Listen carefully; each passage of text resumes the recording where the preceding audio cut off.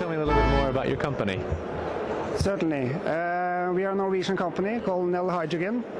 We are in the business of um, developing, uh, manufacturing, and selling uh, water electrolyzer equipment. And we do that for uh, traditional industrial customers as well as uh, energy companies. And um, where are you based and where are your main markets? Well, as I said, we are a Norwegian company. We have our operations in, uh, in Norway uh, with our own uh, workshop and engineering and administration. Our main markets, um, basically we sell to, to um, the whole world. Um, but our traditional sales has been to the new industrial markets, being Russia, India, and also South America and Middle East. I suppose what makes your uh, product uh, unique? Uh, many things, of course, uh, but the, maybe the most uniqueness about it is the uh, robustness and proven technology.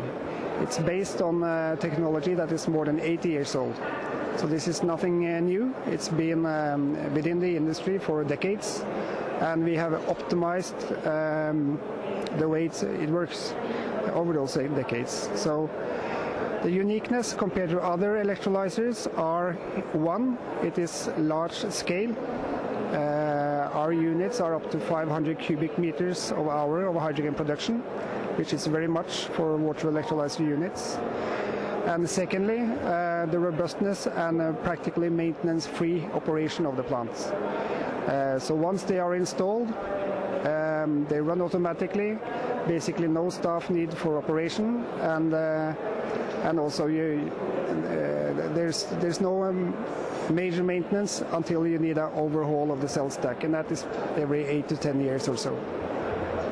So looking down the road, where do you see your company and this technology in about five years? In about five years, uh, that's a quite short uh, time frame considering we have been here for 85 years. But uh, still, I think many things will happen in the next five years. Uh, we will continue to uh, deliver our plants to the traditional industry, being uh, glass plants, polysilicon plants, uh, power plants, and so on.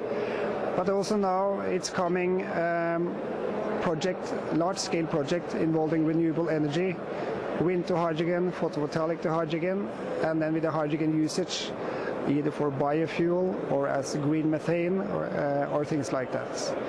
So that is uh, a very new area, which uh, we believe will have a high growth.